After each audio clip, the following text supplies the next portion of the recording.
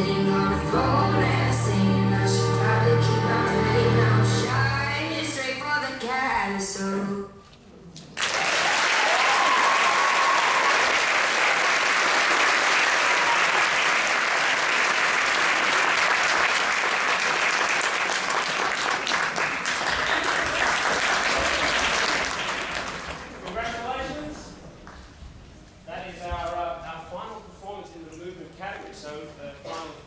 We're now moving on to the group scene category, which is uh, a large scene, everything uh, from three to ten people.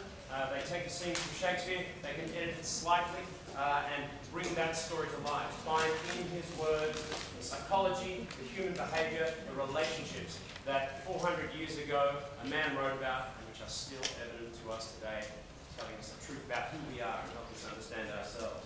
Our performers are International Grammar School doing a Midsummer Night's Dream. They would like to come to the stage.